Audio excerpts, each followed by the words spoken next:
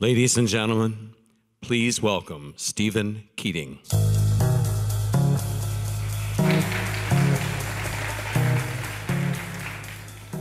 Hello. Uh, thank you so much for the opportunity to be here. Uh, so every year, we're sharing more and more data online, as we saw in the video.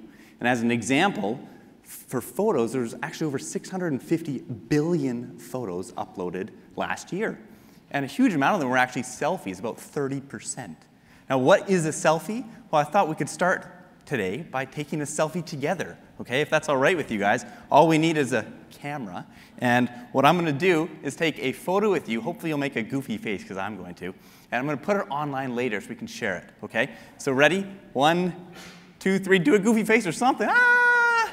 Okay, awesome. Thank you so much. I'll share that online later. Now, a lot of people think that, you know, taking a selfie and sharing it might be a little selfish, right? It's just photos of yourself. But in today's talk, I'm going to ask the question in the future, can selfies actually save us? And I'm talking about medical selfies. So, for example, instead of seeing your diagnosis as just a word, what if you can see it in novel ways and in novel dimensions? So, for example, you could see the data where the diagnostic was made. This is actually a, a large brain cancerous tumor.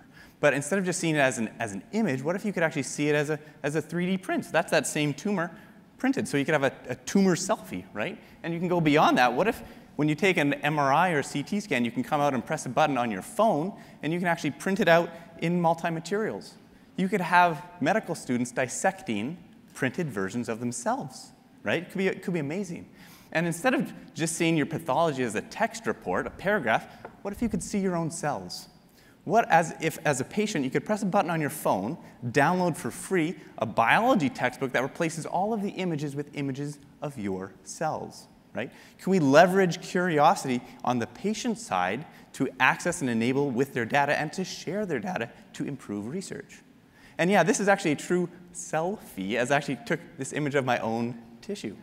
And, and if we move beyond hospital data, think about you know, Fitbits and all other types of data that we can collect outside. How can we can't make it a two-way street? How come we can't have patients inputting data into the medical record as well? So for example, this is a little extreme, what about poop sampling? So believe it or not, it's a commercial product where you can actually take a bit of your stool, send it in, they'll do genetic sequencing on all the bacteria in your stomach. It's called the microbiome. And I actually got a bunch of these for my family for Christmas, which uh, the highlight was watching my mom's face when she realized I have to poop in this tube. And, uh, but the data comes back to you, so you're incentivized because you can learn interesting things about yourself. And if you share that data, it advances science. So how can we make this happen more widespread? Well, can we have a hospital share button? Right? We can incentivize patients to participate, they can feel enabled in their own care, make their own decisions, and they can advance medical research. And that's what we're going to be talking about today. And actually, all that data that I just showed you, that was all part of my own medical selfie. I was diagnosed in 2014 with brain cancer. And uh, I, th I thought I would start out by showing you this image as a medical selfie first and then dive into the details. So first, if we zoom in, this is my family and I after surgery at Brigham. You can see my repaired skull here, and down to my brain, these are the MRI scans where they made the diagnosis. Here they are actually opening up my own brain, and if we dive into the tissue, we can see the astrocytoma and into the actual mutated protein, the IDH1 protein, the primary mutation, which was formed as a single point mutation down in my DNA. It was a G that turned to an A. So in 30 seconds, you can tell that story. A patient can understand what's going on with them, right? And for me personally, it was a very large tumor. It was actually, this is a one-to-one scale of it, and it was in my frontal left lobe, where a lot of people say the personality is. So if I'm a little dry tonight, I have a good excuse, right? Um, and yeah, this was actually, this is my 3D printed skull. Um, and if you turn it around here, as a patient, you can understand very clearly that this is how they did the surgery. They went in, they cut out this part of the skull, and then they removed the tumor in four parts, right? And as a patient, it makes it much more interesting to me. I don't care about spending a few hours in the, medical lab getting the test done, if I can access the data and I can use the data, and I can share the data so I can tell my friends and family what's going on, and I can show other patients what they're going to go through, right? So there's huge, huge potential here, right? And that's what I'm going to be talking about today. But first, let me actually rewind and ask how I even got here. I'm not a, a medical student at all. Um, when I was young, and this is probably the same with everyone in the audience, I was curious, right? People are, are curious at a young age, and it's stuck with me. And I was actually looking at my brain when I was 10 years old. And that curiosity kept up with me and brought me to MIT, where I'm currently a PhD student finishing uh, work in how to make things, actually, mechanical engineering. Um, but this curiosity pushed me to always do research. I always wanted to learn things, and if I could get the data, I was incentivized. So in 2007, I volunteered for a brain scan.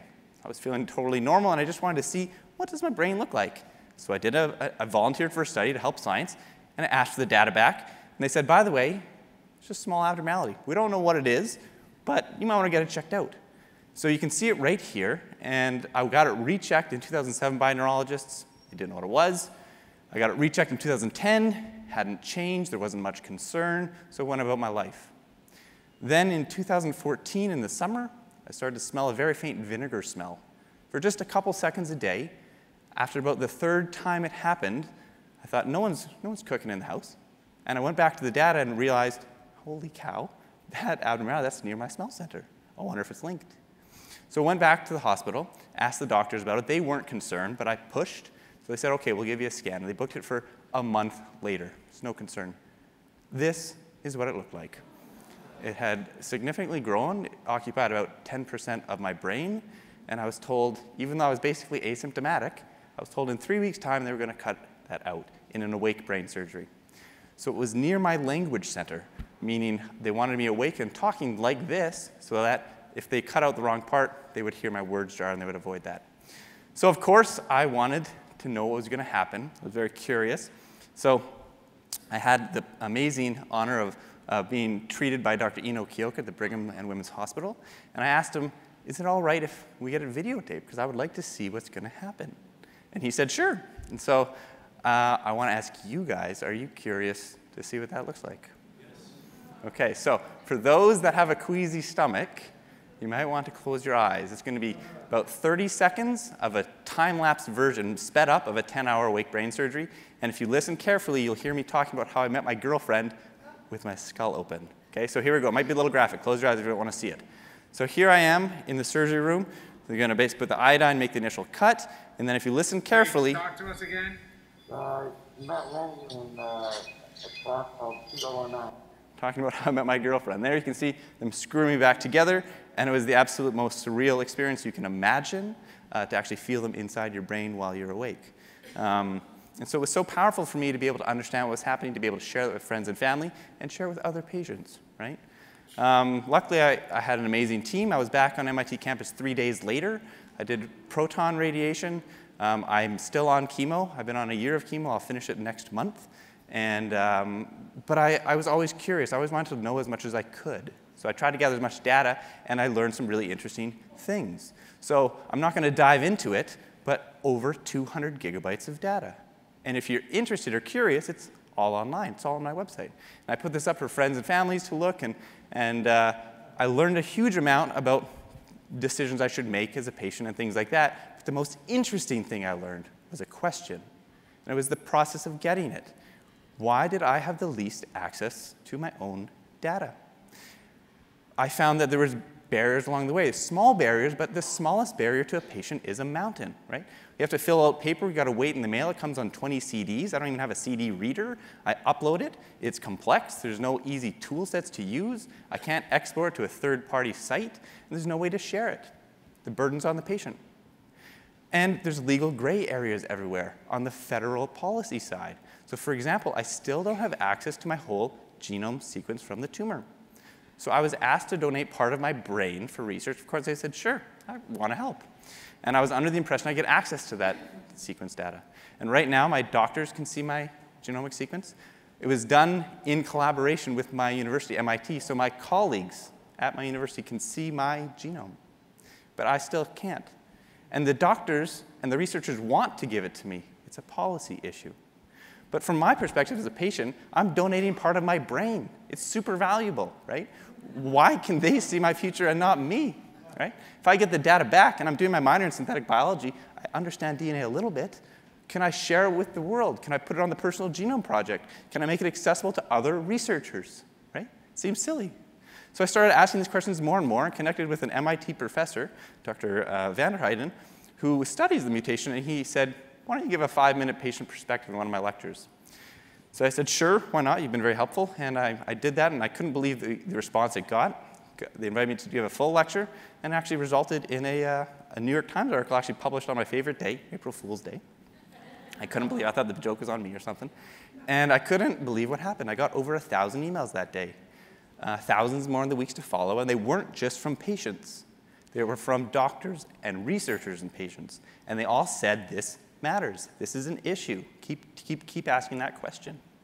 And so I did. And it actually got me invited to the White House uh, for the Obama's Precision Medicine campaign.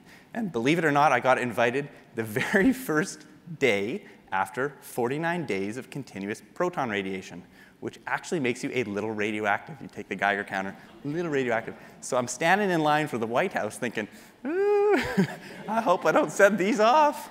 But luckily, it was all fine. It's all very safe. So, you know, and, and of course, I had to take a selfie because I wanted to document what was going on. And so this was the best way to finish proton treatment, let me tell you.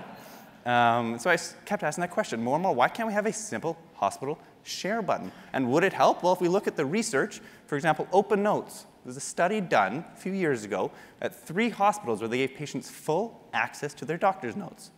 They found after one year 99% of patients wanted continued access. Four out of five said they would choose a provider in the future based on having that access. And 70% said they took better care of themselves. And what about sharing? Well, it's obviously up to the patient if they want to share, but it, we can look at examples like Apple's Research Kit, where it was launched last summer. It's very easy to do on the iPhone. When the tools are simple, people will share. They found 50,000 people join in the first week and over 75% were comfortable sharing their data with researchers. So how do we enable all of this? How does this scale? Well, what we need is a key to the data that's the patient can control. And we can do that with an API, an application programming interface. And what that'll let it do is not just have the patient be able to download it, but be able to share it with whoever they choose. And it could be no one, right? Or it could be just themselves, family and friends and doctors. Or you could actually then have third parties and capitalism and the free market come in right? We could have, with APIs, a Google Maps for health, a Facebook for health, a Dropbox for health. And just think about the, the scale. Facebook has over 1.5 billion people. Imagine there's a health tab, right? Imagine you let third parties come in and say, if you donate your MRI data, we'll 3D print your skull and send it to you. Or for me, I did something really goofy because I wanted to make it a light situation. I took my tumor, turned it into a salt shaker, and printed out a bunch and gave it to my family for a very weird Christmas tree ornament. so, you know, you could have this thing where patients would be incentivized to gather data and share it, right? You could put that, in, that, that need to develop into the free market, right? So it could be really amazing to have patients as partners in our own care. And so if there's one thing to take away from this talk, is to stay curious. And I wanted to also end by talking about the emotional side of it. So as a science person, I, you know, I was really focused on just making medical decisions and using the data for that. But the thing that surprised me is when I shared data, people shared back with me. And it generated emotional support. Support is medicine. This was the biggest surprise to me. So right before I went into surgery, all my friends and family shared videos back with me, including from my favorite TV show, and this is what I got to see. Happy brain surgery, Steve. Hey, Steve, it's Jimmy Kimmel. We hope you get better. T-shirts. Steve? Steve Dance. Happy brain surgery to you. Happy brain surgery to you. So I never would have expected that would be so powerful for me, but it was at the time. That's what I saw right before surgery. So as I said, stay curious. We need to make healthcare a two-way street. And I'm going to end on a very personal note, but very quickly I want to thank uh, everyone who saved my life, including you guys for supporting Brigham. So thank you so much for all the medical doctors and friends and family and community, um, all the research being done in the field, and I'm still a grad student, so I have to put in my references. Um, I wanted to end on a very personal note. So imagine you're in my shoes, totally asymptomatic, and then you're told in three weeks they're going to cut out 10% of your brain. It changes your perspective very quickly. And I sent out a final email uh, to friends and family, just in case. I wanted to end with the three points from that email. Perspective is everything, and switching shoes yields most powerful thoughts. Family and friends are what remain when the world blurs. Gather data as often as possible and share it with the world. It could save your life one day. I never would have gone to the neurological folks if I didn't have the data, open data from the research scan. I was talking about it back then, right before surgery. And the very last sentence of that email The world is a lovely, splendid, and fascinating place. But most of all, to me, it's beautifully curious. So I want to thank you all. This is a very important presentation for me. I'm so indebted to Brigham and Women's, and thank you all for being here and supporting them.